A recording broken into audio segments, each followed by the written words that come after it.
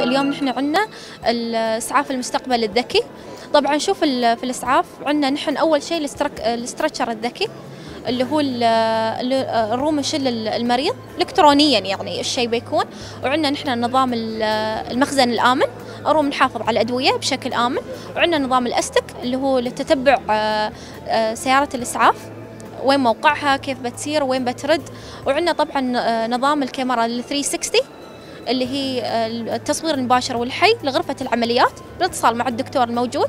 وعندنا نظام ال Ferno. نظام ال Ferno اللي هو إعادة ترتيب آه، سيارة الإسعاف من الداخل بالكامل. ال room نعيد ترتيبها بشكل يعني لاضطرارية حالة المريض. إذا حالة المريض تستدعي أن إحنا نعيد ترتيب سيارة الإسعاف من الداخل ال room نعيد ترتيبها. وطبعا السيارة هذه صديقة للبيئة. عينك على العالم.